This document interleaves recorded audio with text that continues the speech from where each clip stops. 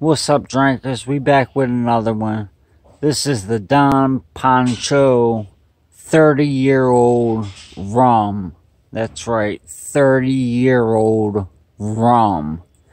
Um, I don't think I've really ever seen a rum that's 30 years. Maybe I'm just not looking hard enough, but I've never heard of a rum to be 30 years. And, uh, this is the case that it comes in.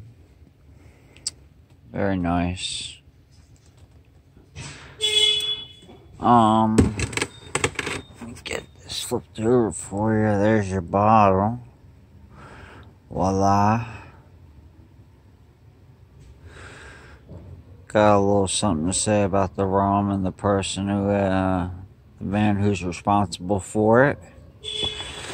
Uh, it's got a wooden top on it. I don't know if that, that's probably got something to do with the flavor. Maybe give you a little wood flavor to it. Maybe, maybe not. Um, very nice. This bottle here, bottled in 2016, so now it's 34 years old.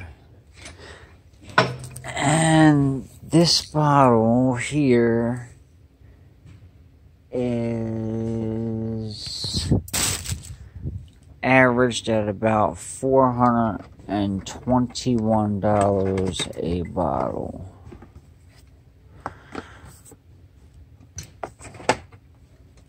Alright guys, like, love, subscribe. If you don't like, still like, love it, and subscribe. Write your comments. Love to hear from you. Thanks for watching.